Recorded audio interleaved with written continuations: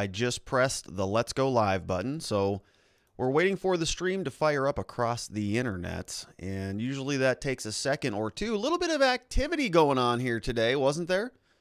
So we're going to dive into some of that. Now, normally what we want to do on this Saturday, the special edition of the broadcast, is to get into the digital bill of rights. We did this last week. And last week we had a no politics policy. But today's a little bit uh, unusual. So we're going to get into a little bit of the Donald Trump impeachment news. Let me just double check and make sure that we're alive and well. And it looks like so we are. And let's Donald go ahead and mute that. Apologies there. All right. All right, so let's talk about the big news of the day. Donald Trump was just acquitted for the second time a second time historical, you could say. Many people are saying this was historical. This was the cover of CNN just a few minutes ago, and you can see acquitted again. When I saw this, it sort of reminded me of that scene from Breaking Bad when he's like, he keeps getting away with this. How can he keep getting away with this? CNN, of course, is not happy about it. So uh, McConnell was on the House floor just a few minutes ago. Donald Trump and their team, of course, uh, reacted to the recent acquittal. We have Donald Trump's statement here, and um, it was kind of a kind of a doozy of a day. We woke up this morning thinking that it was going to be sort of procedural. Yesterday was the, uh, the Trump and his defense team. They were wrapping up their arguments, and we sort of thought that they were done. The closing arguments had been finished. They were going to wake up today, have some final debate on some of the questions that were that were coming in yesterday, and it was going to be sort of a foregone conclusion that they were going to vote. And then there was a little bit of a fireworks going on this afternoon. And what happened was, I think the House managers over from the Democratic side, they wanted to call witnesses in. And so many of us were sort of scratching our heads saying, wait a minute, the trial is over. You already presented your case, you already had the opportunity to call witnesses. And you had agreed prior to the trial starting to not do that. That should have been something that uh, was investigated or discussed prior to the start of trial. You can't just, after a trial has concluded, say, well, we didn't really like the evidence that we heard, so we're going to go out there and gather other evidence, right? Think about this in a, in a criminal context. The government brings their case against somebody, they present their case in chief, they have their their presentation, they stop, the defense presents, the government, you, you have opening and closing arguments, the government can present some rebuttal witnesses, you have one set of closings, the defense closes again, the government closes again, but they're not reintroducing new witnesses. They're not presenting their case, waiting for the defense, waiting for the defense closing argument, and then saying, Judge, hey, uh, before we wrap this up, before the jury goes and votes, we have all of this other evidence we want to just bring in. We forgot, we, you know, we forgot to call that guy, forgot to call this guy. No, that's it. That's the end of the game, right? You have one trial. You get to bring your case, bring your A game, or don't bring it at all, and don't bring, uh, you know, criminal charges. In this case, these were impeachment charges, but they were largely I think, in my opinion, analogous to a criminal proceeding. So they kind of botched all of that. CNN. Uh, you know, says acquitted again. Washington Post, very much the same. A lot of, I think, Democrats are very disappointed today. A lot of Trump Republicans or you know the MAGA movement, they're very happy about this today. And so uh, let's let's break it down just a little bit before we dive into the digital the Bill of Rights. All right, so who voted to convict Donald Trump? Of course, all the Democrats did. And then we have it looks like Richard Burr. These are these are seven Republicans. The total vote was 57 to 43. So of course you need two thirds in order to convict a, a president, sitting or former president. And they didn't get that. They were 57 to 7 uh, to 43, which is actually a little bit you know closer than I than I thought uh, it might be. I thought it was going to be I mean, I, what I mean is closer to impeachment. I thought that that number might be around 55 to 45 ish, and nope, it was a little bit higher than that. So Richard Burr, Susan Collins, I think was pretty much a, a foregone conclusion. Same with Lisa Murkowski, Mitt Romney, Ben Sasse. All of them, I think, had already uh, indicated that they were going to be voting this way.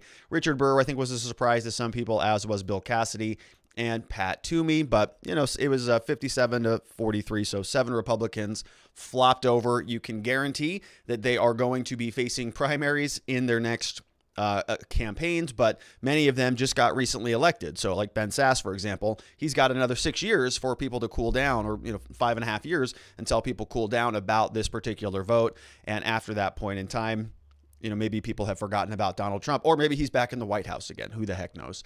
Well, it is probably not going to be over there. So, as soon as this was done and over, Mitch McConnell, who voted to acquit the president, former president, came back out on the Senate floor and apparently was hinting that he would be supportive of criminal charges now moving forward against Donald Trump. And so here's what he said. He said, or according to Marianne McKinney, she's a, uh, a, journalist, says, seems McConnell is calling for Trump's criminal prosecution. And she quotes him just from the floor, says, President Trump is still liable for everything he did while in office as an ordinary citizen. He didn't get away with anything, yet we have a criminal justice system in this country.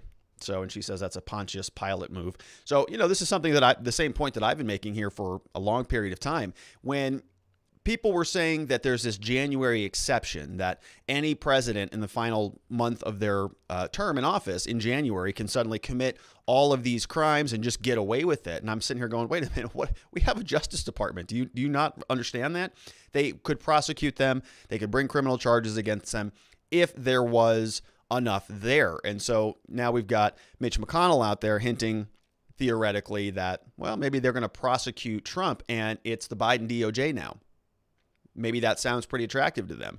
And so this is the first sign of a massive rift out there in the party. We all saw this coming.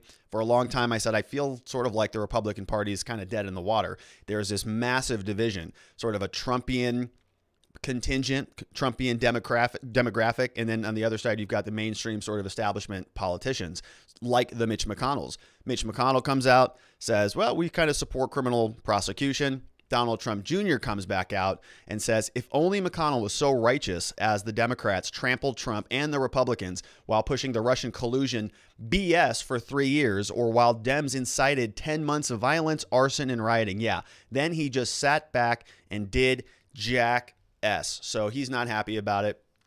And I think that it's just going to continue this rift between the two sides. Uh, this was not particularly good for the GOP as a party, I think that a lot of uh, the Republican senators are going to be on their heels for a foreseeable amount of time as a result of their votes to convict Donald Trump. It was symbolic, right? Didn't do anything, and they're going to have to, you know, deal with that in the next primaries. Some of them are going to be facing consequences, other of them will not, right? I think Murkowski, Collins, Romney, they're all very safe. They were voting their conscience that's fine. But some of the other senators, they may be uh, they may be on their heels in the foreseeable future. So we'll see.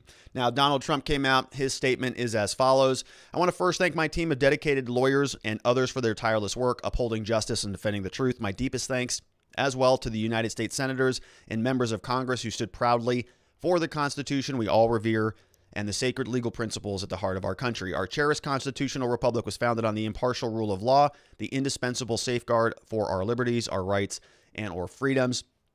He says it is a sad commentary on our times that one political party in, in America is given free press to denigrate the rule of law, defame law enforcement, cheer mobs, excuse rioters, transform justice into a tool of political vengeance, and persecute, blacklist, cancel, and suppress all people and viewpoints with whom or which they disagree. I have always and always will be a champion for the unwavering rule of law, the heroes of law enforcement, and the right of Americans to peacefully and honorably debate the issues of the day without malice and without hate.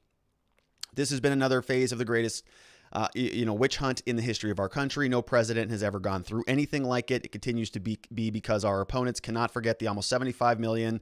So see, so now we're getting into into some some dangerous territory for YouTube. So we got to be careful here. He says, I want to convey my gratitude to the millions of decent, hardworking, law-abiding, God and country-loving citizens who have bravely supported the important principles in these very difficult, challenging times. We have a historic movement with the Make America Great Again movement in the months ahead. I have so much to share with you. We have so much to work to do ahead of us. We'll emerge with a vision for bright, radiant, limitless American future. Together, there is nothing we cannot accomplish. We remain one people. May God bless you, and may God bless the United States of America. So, generally, a pretty, a, a pretty uh, benign statement, right? Not much there. He says, I thought he was going to get into some of the voter fraud stuff, but he's not. He said 75 million people who voted for us just a few months ago. We cannot forget about them. So that was kind of the sentence that I gleaned over. And, you know, I think it's a pretty benign statement. I don't know what what YouTube's going to do with this type of stuff if they're going to just start canceling people for reading his statement. So we got to be careful about that. I, I know nobody likes that, that we have to do that, but we got to do it. So uh, generally, overall reaction, I thought, you know, I watched, I was kind of in and out of it today this morning. I think largely speaking, Van der Veen was very good. I thought that his performance today and his closing argument was pretty passionate and it was well done. He, he actually was weaving in a lot of the same issues that we talked about. Typically, what I would like to do is give the Democrats, you know, a thumbs up eh, or, or give them some sort of uh, a compliment today, but I think that they botched it largely. I mean, and, and that was unfortunate for their side. What we saw today was there was a rush to get witnesses in. They were going to sort of, as this was coming to a close, there was this big movement, and I think they actually had the votes where they were going to be able to call witnesses. And it, I think five or six Republican senators joined in on them. It was like 55 to 45 or 56 to 44, whatever it was. And they were going to be moving forward to call witnesses. And a lot of people on the Republican side were up in arms about this over on Twitter. They were sort of their fireworks going off. I can't believe this is happening. And then Van der Veen came back out and he was scolding the other side, saying, you know, okay, that's fine. We're going to have to haul these people back to my office. And he was getting a little bit of grief for that on Twitter. We're going to have to, you know, deposition all these people. And then at some point, one of Trump's lawyers or some somebody who was working with his team, they came back out and they said, "We've got we've got you know hundreds of people that, that are on our witness list. Everybody that, that, that the Democrats played in all of their videos. We want depositions. We want Nancy Pelosi. We want Hillary Clinton. We want Mayor uh, Bowser." From DC, we want everybody. And so the list just got bigger and bigger and bigger.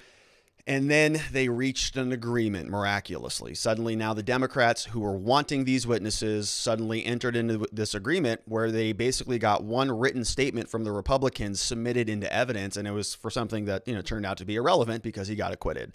So on Twitter, a lot of the Democrats were very angry about that. And you're sort of seeing a rift over there as well. I think David, David Axelrod was on Twitter talking about uh, don't don't blame the Democrats. Or okay, you know, don't don't don't melt down over here because of what happened. This was a negotiated deal. This is the best thing that we could do. We got some evidence in that we would not have otherwise gotten in, and so don't you know don't lose your cool over this. And they proceeded to do that anyways. Very upset about it, saying you know this was such a damage to to democracy and um, you know hurting America and all of those different comments. So a little bit of a rift happening over there, but I don't think that that is something that is uh, going to be matching the problems that the Republican have. Uh, Trump, I think he's still a threat moving forward. Obviously, this this is I think what the Democrats were trying to alleviate, and I mean threat. However, you want to interpret that word. The Democrats think he's a threat to democracy. They think he's a threat to America. They think he's probably a threat to physical safety in this country. And they're very concerned about that. I think he is still a threat. If you are on that side of the aisle, you're going to use that word and say, well, that, that was a bad thing right? It's a horrible thing. If you're a Republican, you're saying this is great, right? Because Donald Trump was not responsible for the incitement. He was not responsible for the insurrection. He was out there talking about a legitimate issue that many Americans also feel have some they also have problems with them.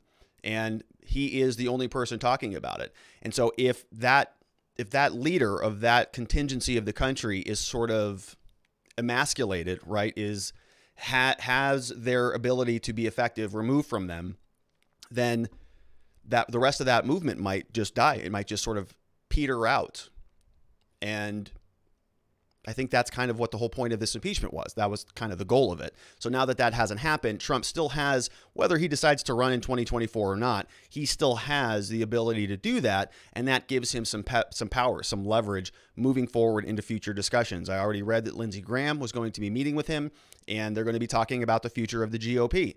Trump is now a player at that game. If he had been convicted and removed and not allowed to run again, he can't be removed. He's already been removed. If he had been precluded from running again, then that would have sort of uh, removed his leverage from that equation. And I think he wouldn't have been invited to be a party to that conversation. So he's still a threat either way, whatever side of the aisle you're on. He is somebody who is still going to be effective and very relevant in American politics for the foreseeable future. Whether he whether or not he runs again, and I and there are a lot of people out there saying that'll never happen. His political capital is blown. I do not think that at all, folks. I do not think so. I mean, if this comes back in, in four years from now and you're talking about a Mitt Romney versus a, a, a Donald Trump in, in a Republican primary or a Ben Sasse versus a Donald Trump again, in a general, he might he might lose, but in a primary, I'm not so sure. People are pretty disaffected with the Republican Party and I think for a very good reason. And then lastly, the last point I wanted to make is this this talk of criminal charges is just bananas. The fact that Mitch McConnell uh, is is hinting at that I just think is ridiculous. And we've gone through enough of that in the last couple days, the last the last week or so to detail what happened there. We talked about incitement, we talked about the Brandenburg test, we ran through some of the case law to talk about free speech, we talked about all the problems with causation, proximate cause, superseding, intervening causes, a lot of issues. And I don't think that any of this stuff would have been admissible or even prosecuted in a court of law in a criminal proceeding. We'll see if that happens now, though, right? There may be prosecutors or U.S. attorneys around the, the country. We're already seeing that they are very excited about prosecuting Donald Trump. We've got, I think, Letitia James out of New York. We've also got there's another uh, there's another newly elected Democrat out of Georgia who's leading an investigation against Donald Trump over that Raffensperger phone call. And I think those are state level; those are attorney generals and uh, attorneys general, and their their uh, state level officials, but we may see somebody from the U.S. Uh, Attorney's Office, from the Department of Justice, now that there's the Biden White House in charge of it, that wants to take this up and move forward with it. But I just don't think, from a criminal standard, that it would meet the threshold in order to move the case forward. So, thoughts on impeachment. We're going to wrap that up, though and move on in into the real good stuff. This is the everlasting stuff. This is why we're doing a Saturday live stream because we want to talk about the Digital Bill of Rights. All right, so let me flop this over here. The Digital Bill of Rights, we started talking about this last week in our first workshop. Today's workshop number two. And what I want to do today is just go briefly through the original proposal of the first eight amendments that would be a part of a new Bill of Rights. And so we we're sort of in this stage right now where we're just playing around with these ideas. We're having fun. We're brainstorming a little bit, sort of calling it mental gymnastics, thinking about how this all might work. And so last week, what we did is since I started hinting about this conversation or sort of teasing this idea and looking around at other people's work, work product, and what the EU's doing and what some other, you know, sort of uh, free speech platforms are doing, I consolidated a list of what I thought were eight relevant amendments. And it was just an opening argument. It was just an opening position. And what we what has what has happened since last week is I got a lot of great input from a lot of other people. And I got some stuff that I want to go through today on this workshop. But but something else also came to to my attention when I was thinking through how to navigate processing a task this this gigantic, right? Thinking through how do we how do we establish what the next five, six, seven generations of digital life operate? How do we talk about those issues? It's a lot. There's a lot of brain power that goes into it. I am a lawyer, but I'm not a a uh, Bill of Rights drafter, right? You know, this is a whole separate thing. This is a this is a major policy decision, policy issue. You, you want to get a lot of minds involved, and so that's why we're just sort of playing around with these ideas. So these first eight, they, they were originally discussed last week. I want to go through them again and just remind you that these are open for interpretation, open for discussion. They're not, I'm not married to these at all. And we're going to see how I think that they're going to evolve as this conversation continues. And the other issue that I saw when I was going through these is that I think we sort of jumped the gun a little bit. I think I kind of got ahead of myself by just starting with this document. And I'm going to explain what I'm talking about. Right now, what I'm going to show you is just this, the standard Bill of Rights. It's the first eight amendments that I came up with, but we sort of we just sort of drafted those. Why do we need to do this? Where did this come from? And so what today what I want to do today is go through what I'm calling the, the philosophical underpinnings of why this might be necessary. Because a lot of the criticism or a lot of the pushback, I wouldn't even say criticism, a lot of the the the uh, countering viewpoints were kind of saying, well, why do we really need this for? You know, we have all of these structures in place. We already have Section 230. You know, these are private companies. You don't have you, you don't have a right to you know interfere with any of this stuff. And so I needed to take a step back and just understand it from sort of a more fundamental level before we really start talking about implementing any of this stuff. Why? Where does it come from? What is the underpinning? The justification for it in the first place. So, briefly again, let's run through the first eight just so we have some context as we're moving forward. First one digital freedom of speech. The internet shall have no law abridging the freedom of speech. Right to digital personhood. All users shall have the right to exist in their true identity on the internet. Right to deletion. The right to remove all data. Right to information. The ability of the user to move internet data between providers without impediment. The right to privacy. No user data shall be shared without user consent We have the right to unfilter, basically, that you can view the internet through an unfiltered, uncensored, unrestricted lens. The right to due process. Providers of the internet services shall not deny users access to any port of a platform, any part of a platform without affording them due process. So you can't just be canceled without reason. And then number eight, the internet providers that comply with these prior Bill of Rights, they are protected through good faith protections. They're immune from liability in the court of law. And so those were the first eight. Nine and 10, we're still sort of open for interpretation, open for discussion. I'm open to combining these two or separating them out. And what I want to do is show you some of the feedback that we got after last week's workshop. But before I do that, let's talk about this concept called the state of nature. And I want to just go back to sort of the very beginning. In political science, there is an idea, there's a whole sort of a handful of philosophers when they were thinking about how the world was composed and how it should be composed and how society should evolve and develop, they started with nature. They started with this idea that man and women were sort of born into this world that is whatever it is. And they define the state of nature differently. Some people say that it's very chaotic and that people are just mostly bad and they're out there naturally we're just wanting to kill each other and take their property and take their goods because their only functioning interest is self-survival. Okay, that's one interpretation of the state of nature. And that's something that we're going to take a look at. There's also another interpretation of this as well, men are mostly good. Men and women are mostly good, and they're just trying to communicate together. They're all trying to reach enlightenment. And so, if you started them both at the same beginning with a blank slate, how would things go, right? How would society evolve? How would men and women negotiate their world? Would it be more like a chaotic mess catastrophe, or would it be something where there's some harmony and some reason and logic and some harmony there? And depending on how you define your state of nature, that's going to dictate how your government grows, how your principles are developed, the type of institutions you create, and so on. And so when we're talking about the digital world, when we're talking about a digital bill of rights and how things might work in the future, what I wanted to think of was what is the digital state of nature? What is that? What does that look like? If we just took this all down to the fundamentals, what is the internet like in its most natural form? And if we can have a good understanding of that, then maybe we can build on some layers that are useful for us. And I'm going to explain this in a little bit more detail. So just follow me down here. We're sort of at the bottom level. We're talking about the state of nature. This is something that has existed in the real world. Philosophers and political scientists have talked about it a lot. A lot. They use this in their construction of how to uh, propagate and create a functioning government and that has largely been for the physical world. It's been for you know 17th century England. It's been for the Romans back uh, you know when they were around. It's it's now in modern culture around the, the world, right?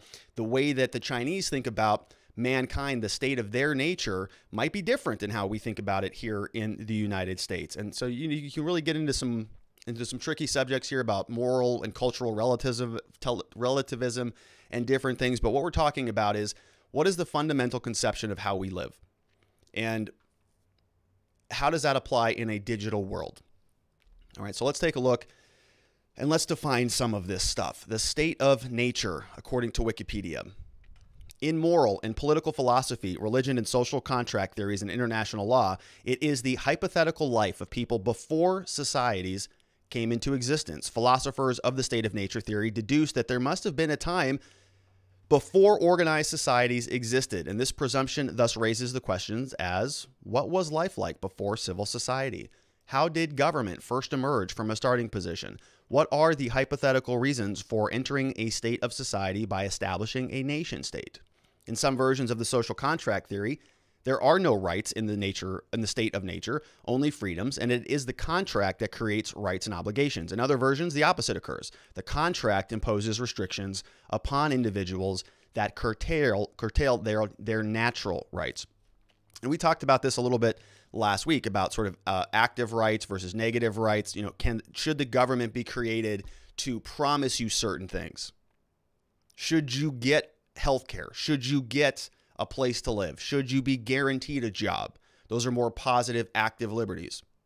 The government is existing in order to give you something versus a negative right where the government is pre- prohibited from interfering into your liberty, into your freedoms, which is much more analogous to what we have in the United States.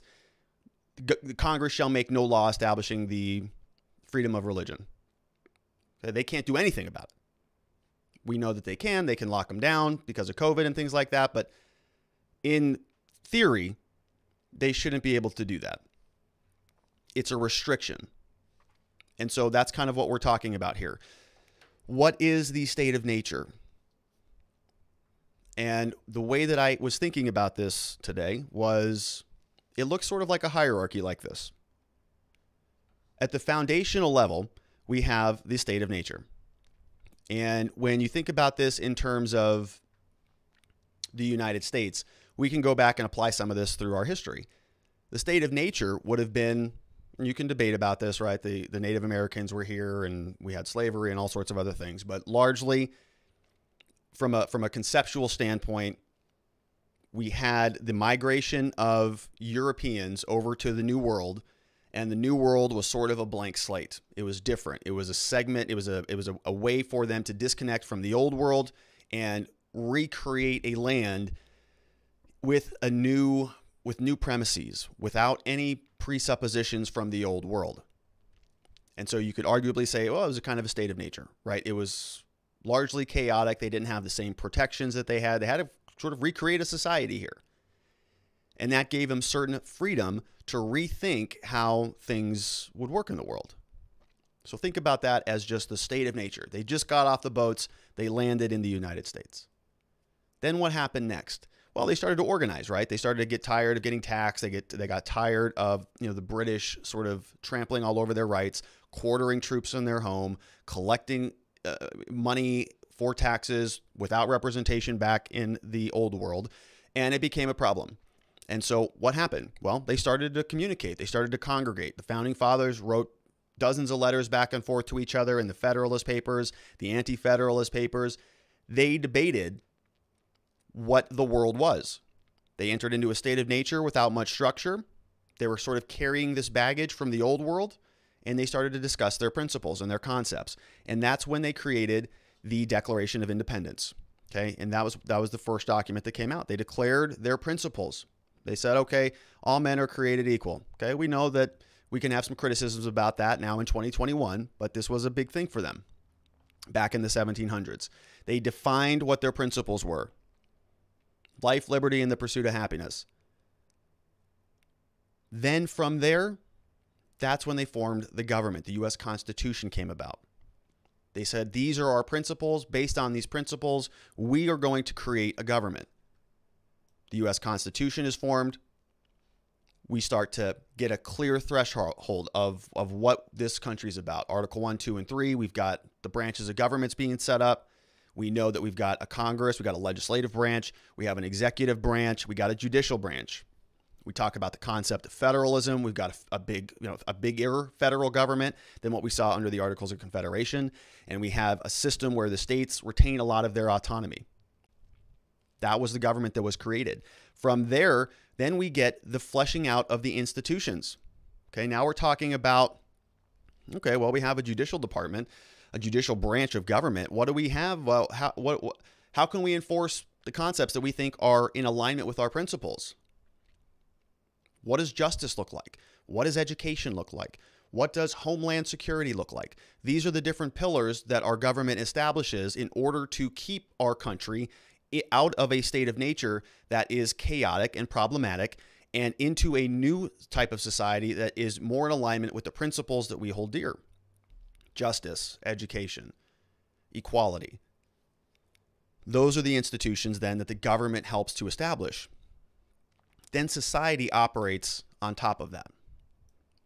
With those protections, society is prevented from falling back down into the state of nature that is less organized, less free, less capable of helping you reach your life goals or reach that level of enlightenment. And so this is the structure that we sort of went through in our country. Now, a lot of individuals a lot of other philosophers have differing opinions on what the state of nature looks like. And one we can take a look at is from well before we get there. So we're going to we're going to talk about Thomas Hobbes here in a minute. Now, a couple of the points I wanted to make before we move on here. These are you know, this is stuff this is stuff that is sort of written into law and code, but you have to understand as well there's also culture that is sort of interwoven with all of this, right? We have a culture that supports this. Culture is not something that I think can be viewed in total isolation. It helps merge all of this stuff together. And this is why when you hear a lot of people say that you know, culture is number one. All of this other stuff is downstream politics and the structure of our society, sort of downstream of culture. Edmund Burke talks a lot about this in his concept of the social fabric. It sort of weaves everybody together. All of this stuff works together because we share a similar culture. And I think that's just an important point. One other quick point before we move on to Thomas Hobbes is the idea of many people today, I think, unfortunately, in, in America and throughout the world, they actually think that this kind of is reversed. So they would put principles maybe up here and they would put government down here. So they would say that to, to get us out of this state of nature, the government is necessary to be created and the government establishes what the principles are. So it's basically reversing these two concepts. Now, I'm sure that they would not think that that is a fair characterization of their positions, but I, I, I typically do. I mean, I really do. I think that when you identify your predominant principles, when you say, look, these are foundational, these are immutable, these are inalienable rights, we cannot lose these things that's where you get things like the freedom of speech, the freedom of religion. We're saying that's inherent to us. The right to petition your government for a redress of grievances. That is a those are principles that come out of the state of nature. They do not come out of the government. Okay, the government does not grant you that those rights or those privileges or those principles. Your right to bear arms, your right to be free from illegal searches and seizures, your right to be prohibited to be uh, punished with cruel and unusual punishment. Those come from the principles that you deprive from the state of nature, not from the government. And unfortunately, we're seeing where people are starting to think for some reason that this is more important than the principles. That's why we're seeing a watering down of a lot of the principles. We're seeing free speech is suddenly, well, it's okay to, to, you know, to censor people and throw people off the internet because it's a private company. In other words, the institutions up here are more important. Society's, you know, concerns, wants, and needs, and, and their concern about dangerous speech, it's more important than the principles. They're saying that they can do whatever they want. And I'm hearing a lot of people in this country say, you know what, you're right, they can do whatever they want. Forgetting about these principles, forgetting about the underlying basis for what made America so great. It, it is the principles. It's not the government giving people permission to do things and not do things. We're working from the principles and working our way up. All right, so now let's take a look. That's that's my that's my opinion of it. That's my interpretation of it. Let's take a look at some of these other philosophers. All right, so first let's talk about Thomas Hobbes. So Thomas Hobbes was one of the first people that I had learned about. He wrote a book called Leviathan, and he had a very dark view of uh, of the state of nature. So this came over from there's I think the Stanford political uh, uh, Stanford philosophy website. They say he's his current reputation rests largely on political philosophy. The rest of this stuff is kind of irrelevant, but this is what the guy looked like and he was predominant around 18 1588 uh, to 1679. And according to Wikipedia, his version of the state of nature, he says it's the natural condition of mankind. It was described in his uh, his document called Leviathan. I think it was a book, and his earlier work called De Cive. I don't know how to say that. Hobbes argued that natural inequalities between humans are not so great as to give anyone clear superiority, and thus all must live in constant fear of loss. That's the state of nature, or violence. So that, quote, during the time men live without a common power to keep them all in awe, they are in a condition which is called war. And as such, such a war is of every man and against every man, which is a very dark way to think about things, right? I mean, and, and some people might agree with that. They might say that you need a very strong common power to keep them in awe.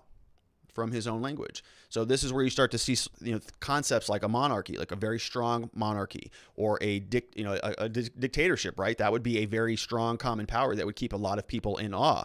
And sort of the the political conversation here is about well, that's necessary. We need that because the natural state of things, the state of nature, is so turbulent we're in a constant state of war, is what he said. There's constant fear of loss, there's constant fear of violence. And so you need this type of structure in order to make it so that you are not killed, you are not stolen from. You need to have a strong top so that you don't get killed in this state of war. He says this natural condition, meaning war of all against all, is how he described it. Right, so that's one interpretation of what the state of nature is. Then we get over to John Locke. John Locke comes a little bit later. So if we take a look, Hobbes was from 1588 to 1679. Then we get over to Locke, and he sort of picks up a little bit, 1632 to 1704. He was a British philosopher, Oxford academic, medical researcher, and he wrote an essay concerning human understanding in 1689, one of the first defenses of modern empiricism, and concerns itself with the limits of human understanding. And so here's what Wikipedia says about him. He considers the State of Nature in his second treatise on civil government, written around the same time of the exclusion crisis in England in the 1680s. For Locke, the state of nature, in the state of nature, all men or are free to quote order their actions, dispose of their possessions and persons as they think fit within the bounds of the law and nature. The state of nature has a law of nature to govern it. Okay, and so that's where we get a lot of this idea that these are natural rights. The state of nature has a law of nature to govern it, and that law is reason. Locke believes that reason teaches that, quote, no one ought to harm another in his life, liberty, and or property. And many people will say that this is where the founding fathers got their concept of life, liberty, and pursuit of happiness, but there are other scholars who don't like to attribute that to Locke. He says that those trans any transgressions as a result of that may be punished he describes the state of nature and civil society to be opposites of each other, and the need for civil society comes in part from the perpetual existence of the state of nature. The view of the state of nature is partly deduced from the Christian belief, unlike Hobbes, whose philosophy, I'm sorry, philosophy is not dependent upon any prior theology. All right, and so they never. There, there was some debate that Locke was responding to Hobbes, and uh, you know they're saying here that there's basically not much evidence of that. So that's another version of what the state of nature is. Okay, it's not this bland, absent, volatile state of war. It's, well, it's nature. There are laws of nature, and the laws that govern nature are reason. And so we can use that reason to then move forward and create a society that allows people to operate as long as they don't have harm for anybody else that impedes their life, liberty, or property. Doesn't sound bad. Then we get over to Jean Jacques Rousseau. Rousseau is another pretty important figure in history of philosophy, political philosophy, moral psychology, and his influence on later thinkers. Here's what Wikipedia said about him. Hobbes' view was challenged in the 18th century by Rousseau. He claimed that Hobbes, Hobbes was taking socialized, socialized people and simply imagining them living them outside a society in which they were raised. He affirmed instead that people were neither good nor bad, but were born as a blank slate, and later society and the environment influence which way we lean. In his state of nature, people did not know each other enough to come into serious conflict, and they did have normal values. The modern society and the ownership it entails is blamed for the disruption of the state of nature, which Rousseau sees as true freedom. Okay, so he's saying now that maybe people aren't born one way or the other. A little bit of a different interpretation than Locke, where sort of the natural the natural order of the world is reason, and nature has a governing law that is based in reason. Rousseau is saying, well, kind of people are kind of blank slates, you know, and, and how you and how they're brought up in the society that you create. You can't take society out from the state of nature because that's kind of not reality. People are born into a society. So you have to consider that and they're blank slates. And so society has an impact on how they develop and how they will mature into citizens. And so he takes that and spins off there. Then, more modernly, we have John Rawls. Okay, John Rawls, 1921 to 2002, American political philosopher in the liberal tradition. So it's kind of a more modern. Political liberal political liberalism delineates the legitimate use of power in a democracy and envisions how civic unity might endure despite the diversity of worldviews that free institutions allow. Liberal foreign policy, permanently peaceful and tolerant international order. So, kind of a modern thinker, right? Rawls used what amounted to an artificial state of nature. To develop his theory of justice, he places everyone in what he calls the original position. The original position is a hypothetical state of nature used as a thought experiment. People in the original position have no society and are under a veil of ignorance that prevents them from knowing how they may benefit from society. So we don't know how great society is. They lack foreknowledge of their intelligence, wealth, and abilities. He reasons that people in the original position would want a society where they had their basic liberties protected and where they had some economic guarantees as well. If society were to be constructed from scratch through a social agreement between the individuals, these principles would be the expected basis of such an agreement. Thus, the principles should form the basis of real modern societies, since everyone should consent to them if society were organized from scratch in fair agreements. So, kind of just taking everything as it is and eliminating it and saying, all right, well, we're going to bring everybody back together. And they've got this veil of ignorance over their eyes where they can't see how good this could be. But if we can lift that veil up and we can say, look, we're going to create these agreements, these mutual agreements between each other then we won't be at war. We won't be in a position where we have some economic problems. Okay, we would talk together. We'd say, hey, I've got this skill, you've got this skill. Okay, we want some economic guarantees. We want some basic liberties protected, but we're going to come together as a, as a society and we're going to function together because that's the best for everybody. Once you realize that, once you're not so ignorant about how this can work so well, then things will be better. So that's his version of the state of nature. All right, so that's a little bit of a history lesson on some of the political science stuff. Very interesting. You can read into this for, uh, I think, two semesters, which is basically what I did. I had to really, really dig back down in there to remember some of that. But thankfully, Wikipedia exists, so they helped uh, get me up to speed. But this is, once again, this is what the hierarchy sort of looks like the state of nature, how things are based on what you think that state of nature is, what are the principles that should come out of that? Now, you may disagree with that. You may say the state of nature is very warring and you basically need a government to come in and stop the war, stop the mayhem, stop the chaos. And then from there, you can establish your set of principles, and out of your principles can come your institutions and your society. That's not the way that I like to think about it. I think that the principles are more immutable, they're more inalienable. They do come from whatever you want to call it, from your higher power, from God, from the state of nature these are things that are more objective and they come from the world, they don't come from the government. So once you have those established, then you can work your way up the chain. And when I was thinking about this in terms of the digital Bill of Rights, it's the same conversation that Hobbes, Locke, Rousseau, and Rawls were all having. They were trying to have this conversation saying, if we just wipe the slate clean in our in our real society where we're dealing with cars and transportation and housing and corn prices and cattle futures and all of these things, how would we structure this? Well, have we ever had that conversation about the digital world or the internet? I mean, Elon's uploading people to the cloud here soon. I just listened I was listening to Rogan, right? Pretty soon. Have we had a conversation about what this next level looks like? What is the state of nature of our digital world? What do we think that is? What what what are the conversations surrounding that?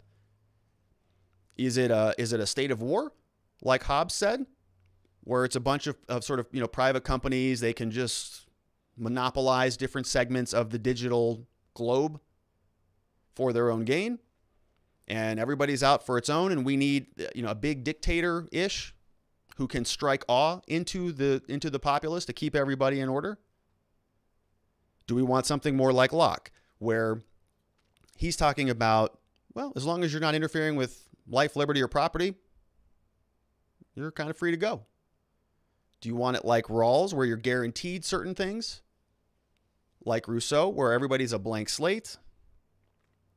And once you start spinning off one way or another, maybe there's repercussions for you. What does it look like? So it's the same conversation. On the one side, we're talking about the physical world. What is the state of nature according to the political philosophers? Then we declare what they are. Then we form a government around it Then we create institutions and our society functions on top of it. What if we did the same thing with the digital world? What is the state of it? How do we want to create our digital world? Make that a little bit more of a triangle because that was looking concerning. What is the government? Okay, right now we're having a lot of conversations about this level, really. We're talking about Section 230. We're talking about kicking tech companies out of platform, you know, out of out of uh, you know, Florida is going to be making it difficult for them to get contracts. We're talking about the interface between society and our institutions as it relates to technology. What are our principles around it? What do we think the state of the digital world really is? And how do we tease out what those natural principles are that we should embody in our government, in our institutions, and in our society? That's the philosophical underpinning of it.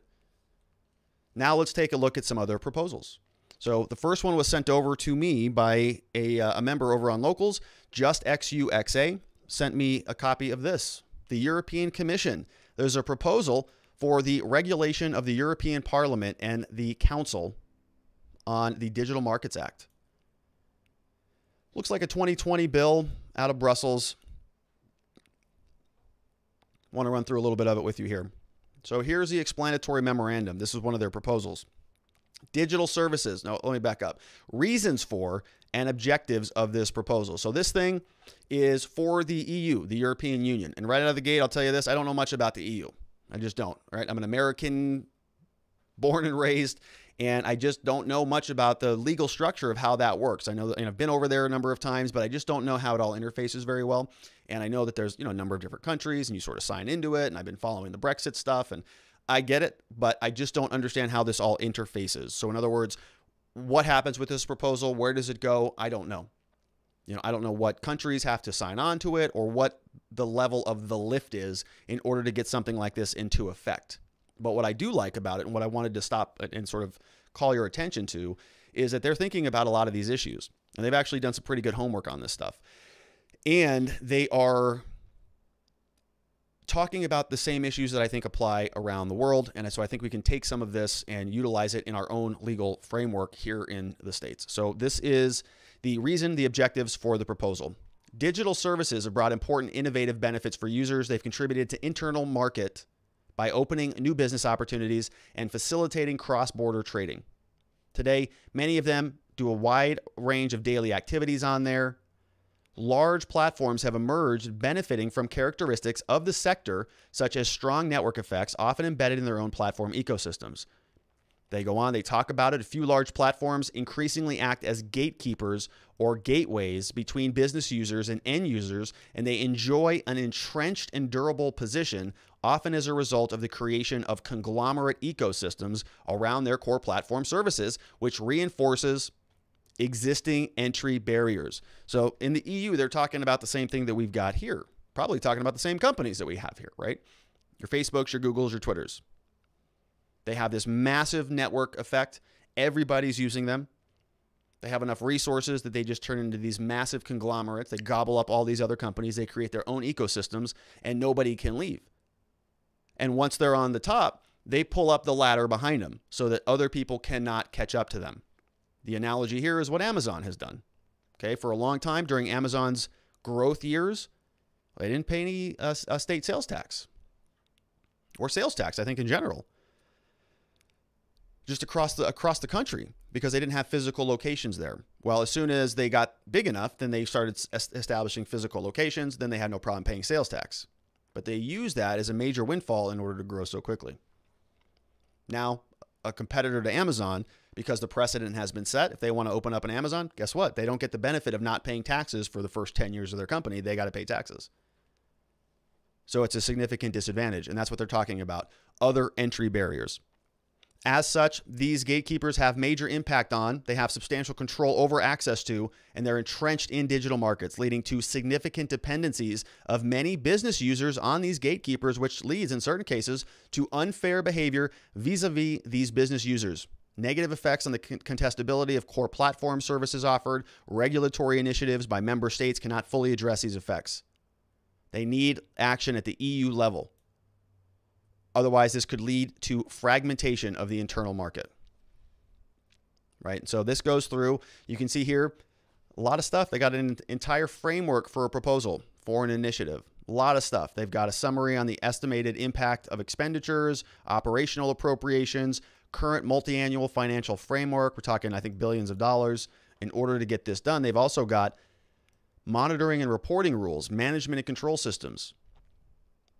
So we're going to run through some of this. Here in chapter two, they define what these gatekeepers are. Who are these gatekeepers? And here's their definition, which I thought was pretty interesting. A provider of core platform services. So that's the language that they're using, core platform services, which is a little bit broader than the language that we were using in ours, shall be designated as a gatekeeper if A, it has a significant impact on the internal market. So that would, would mean the market within the EU. It operates a core platform service, which serves as an important gateway for business users to reach end users. It enjoys an entrenched and durable position in its operations, or it is foreseeable that it will enjoy such a position in the near future. Okay, and so this is kind of directly talking about the existing tech companies, isn't it? It's defining them, it's identifying them with legal language. Here are here's another slide from the document indicators of results and impact. So they actually have some KPIs, some key performance indicators. How are they going to measure to make sure that this plan is working? What is the objective in this first box? To enhance the coherence and legal certainty in the online platform environment in the internal market. What are the operational object objectives for that objective? Limit diverging national regulatory interventions. So if Germany and France and Italy are all passing different rules, that's going to lead to internal fragmentation within the EU. They want to ensure coherent interpretation of their obligations. And how do they measure those things? The number of regulatory interventions at the national level. So how, how many people are, are, else are also jumping in to regulate this stuff? If it's a lot, then we know this isn't working. Another objective is to address gatekeeper platforms' unfair conduct. How do they get there operationally? By preventing identified unfair self preferencing practices. And how do they measure that? They're looking at the number of compliance interve interventions by the commission per gatekeeper platform per year. So they're setting up a commission that's going to be responding to the complaints that the gatekeepers are engaging in unfair self preferencing practices. They're also going to take a look at the number of sanctions that are doled back out to the platforms. So here, they're uh, I'm, I'm appreciative of what they're doing, but it sounds like they're already at this level. They're already talking about the other governmental institutions that they're going to create to help ensure that society is functioning appropriately. Right? And they do talk a little bit about some of the principles in the government, but they're sort of working here. How are they applying this stuff to society? That's what that document is about. Same type of story over here. This is another bill here in the United States. I want to give a hat tip over to Larry who sent this over to me. This is from a House representative who goes by the name of Steube. Mr. Steube introduced the bill. And this is a bill to amend Section 230 of the Communications Act of 1934 to limit the immunity of providers and users of interactive computer services.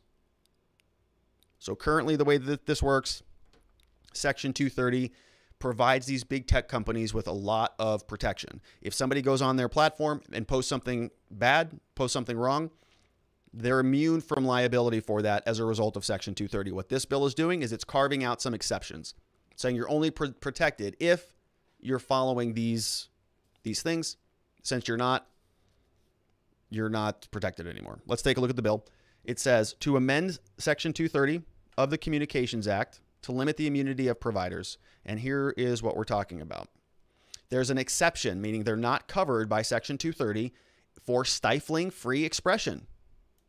You don't get an, ex an, exception for that. Paragraphs 1 and 2a shall not apply to a provider of interactive computer service that is the business of practicing or communicating user generated content during any period during which such provider 1 is dominant in his market, 2 makes content moderation decisions pursuant to policies and practices that are not reasonably consistent with the First Amendment of the Constitution. So if they're acting like publishers here, they don't get protection. provided that they're dominant in their market. Those are really the only two the only two rules there. If they're not in comportment with the First Amendment, they're dominant in the market, they're accepted from the protections of Section 230.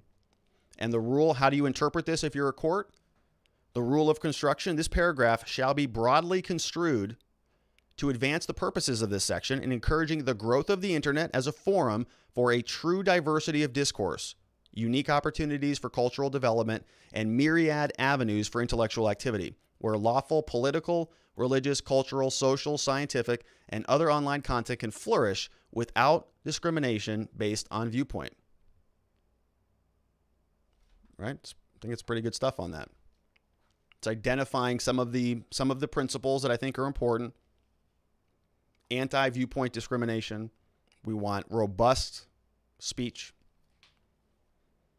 It says here, in general, talking about some of the penalties, in general, if a provider of an interactive computer service that is dominant in its market bans, blocks, downranks, demonetizes in its advertising or other subjects, otherwise subjects to similar adverse treatment to content of any information content provider that uses interactive computer services by reason of failure to comport with the First Amendment, these are the penalties. An information con- content provider that prevails in a civil action under this paragraph may obtain the following damages compensatory damages, liquidated damages, we've got punitive damages, we've got treble damages. Then they define a couple things. What does it mean to be dominant in your market? It means, with respect to a provider, that they have gained substantial, sustained market power over any competitors. Actual monopoly control over a market is not required to satisfy uh, the preceding sentence. And the term reasonably consistent with the First Amendment means with respect to the policies and practices of a provider of an interactive computer service that they're conforming to such policies and practice that have already been defined under the First Amendment, taking into extent the feasible consideration of developing capabilities and complexities that comport with the online communication platforms. Not a bad idea. Also, I think trying to focus on institutions so it's actually modifying the US law in order to see how that impacts society. So when we're talking about a Bill of Rights and a declaration, we're, we're lower down here. Okay, we're making sure we're protecting these things. This is where I where I think the conversation uh, really should be, rather than sort of you know to me it's like using a bunch of duct tape to fix something. Okay, just you know, fix it right. It's falling over. Just get a new one. Go out there, get the real materials. Stop trying to duct tape everything up. So the the idea here is what are the principles? What are we really declaring about this new digital world? And then from there, we can really dial in on what the Bill of Rights should look like and then draft a final amendment. All right, so I wanted to share some feedback that I got. Got some very cool stuff from Philip. Sent an email over and uh, had, had a lot of good points about terms and services. So he said uh, the length of them, and so I'm, I'm I'm trying to respect everybody's anonymity. So we're just using first names, and I'm not including, of course, any contact information. If you send anything over to us at tips at rrlawaz.com that you want me to share, you, you say, hey, it's fine if you share my name or my email or my contact information. I'll do it but my default is is to not personally identify you. I'll use a first name or I'll use uh, your handle if you include that your handle over on locals. All right, so that's that's uh, that's the policy. Now it says the length of them terms and services. They're 30 pages if printed out, if which is a lot. My registration on a newspaper site timed out when I read them. I'm a fast reader, but I couldn't read them entirely. The requirement says that you have to read and understand them. You have to agree to them. An honest person cannot tick the box agreeing to them if ticking the box means you've read and understood them. He says they're full of nonsense that you have to agree to. One agreement that I had to accept because my employer was posting my pay slips there wanted me to agree to their name and logo were trademark and therefore I couldn't use them myself. But as they are trademarked, I'm prevented from using them regardless of whether I agree to or not. But that's the law. So why put things like that in there? Because lawyers get paid to write that stuff. That you have to agree to them all. I tried to book a train ticket somewhere and after having gone through almost all of them, I had to agree to all of the terms and conditions. I canceled that process. Then I booked by phone where I didn't have to agree or read any of that stuff.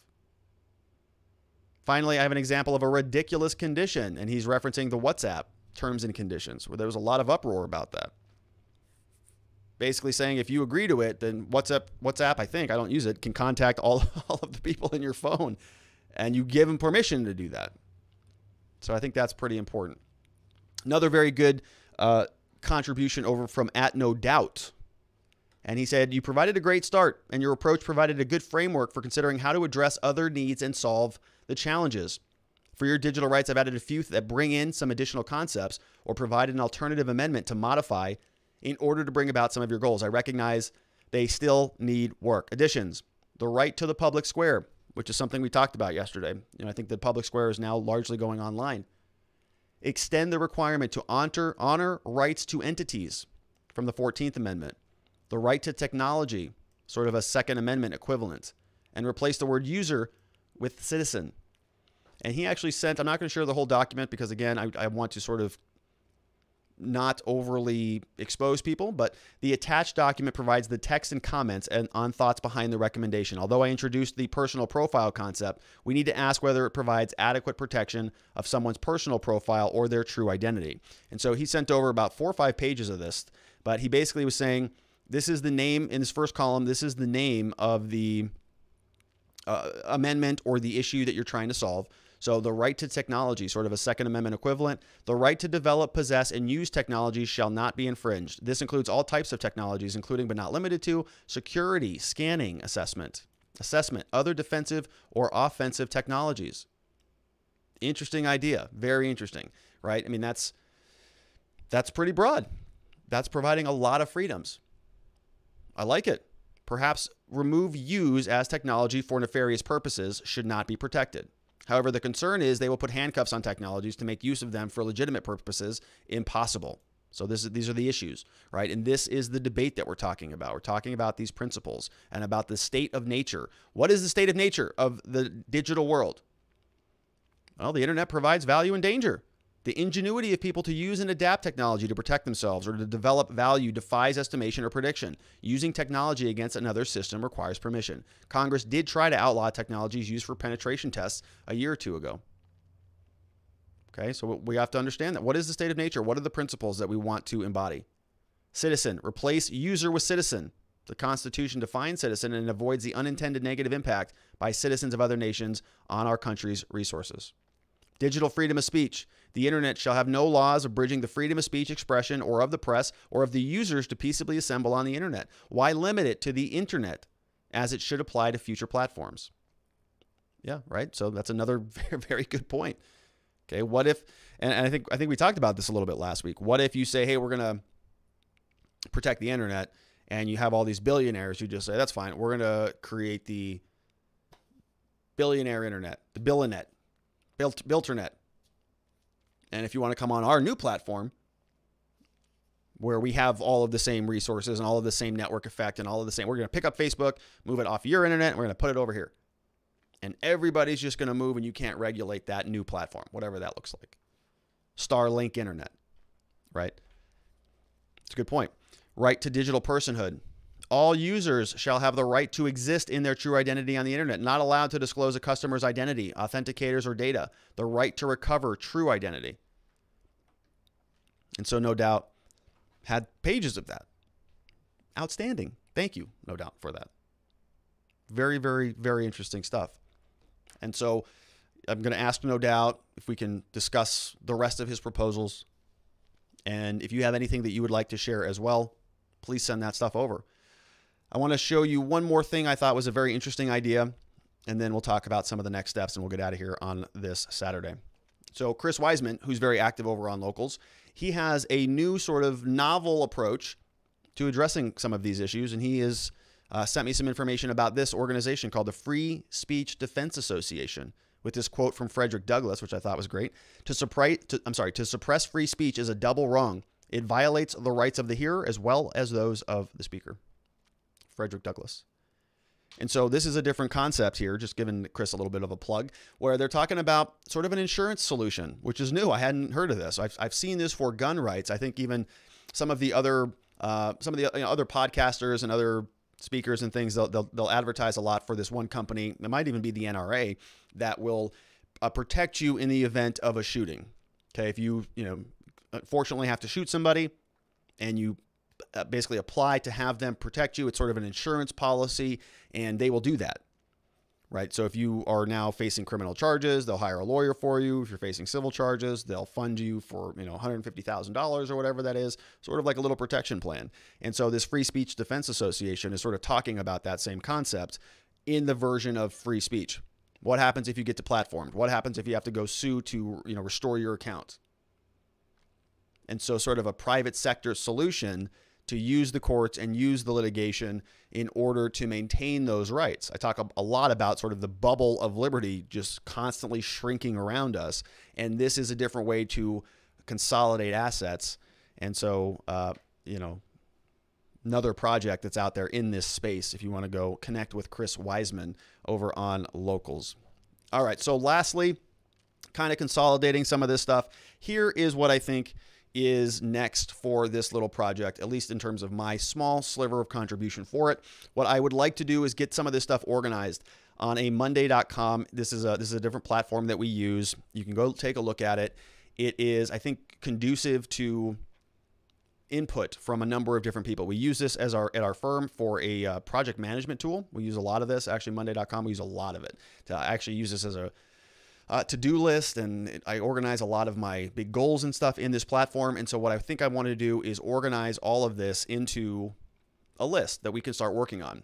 Create a global universe of digital principles that we can then take community input on just for the principles portion of this, okay? Not the, the actual writing. We're talking about what the state of nature is and what the principles are. Then we'll get some community input. We'll vote on a final list. You can vote on Monday.com then start talking about this. What is a declaration of the digital rights? And that's just the first step in getting, you know, the ball moving forward towards an actual bill of rights. These are the natural, this is the state of nature of the digital world. These are the principles that we hold to be dear, that are inalienable. From that, this, this is a declaration of the rights. And from there, you can establish your Bill of Rights. Then you have a constitutional amendment. Then that goes to the senators and the House representatives around the country. So let's take a quick look and see if we've got anybody in the chat that has any thoughts about some of this stuff. All right. So I do not have the usual uh, Miss Faith here to uh, to clip some of this stuff for me. So what we're going to do is we're just going to wrap it up right there. I want to say if you do have any comments, any anything that you want to add to this conversation, please send it over to us. I get all of the emails that go to tips at rrlawaz.com. They just go there because it kind of helps keep things separated in my inbox. So I get them. Send them to tips at rrlawaz.com. If you have any thoughts on this, if you have any ideas on what might make this more robust, if you have any disagreements with this, especially if you think, hey, I'd actually love disagreements. If you say, hey, this is stupid, here's why. Uh, this would never work because X, Y, and Z. I would like to understand that. And I've, I've had some people, you know, say things like, well, you, you, you don't have a right to, to go speak wherever you want. You know, this is all private. And I, under, I understand that. But we've also, we've also identified certain immutable characteristics in this country that we just say, this supersedes your right to a private, you know, discrimination. And I just don't know how this would be different than some of those other arguments. So if you have opposition to that, I'd love to hear them. Otherwise, my friends, thanks so much for tuning in for this special Saturday edition of the Digital Bill of Rights. We're going to leave it there. I'm going to uh, get moving forward. I think I got some final Valentine's things that I got to figure out. Ugh, but we're going to do that. And I'm hopeful that all of you have already done the same. Everybody have a very tremendous uh, post impeachment acquittal weekend. Either celebrate or mourn. We're going to be back here, same time, same place on Monday 5 p.m. Arizona time, 4 p.m. in California, 6 p.m. Central, 7 p.m. on the East Coast. Thank you so much for tuning in with me today. Have a wonderful rest of your weekend. Bye bye.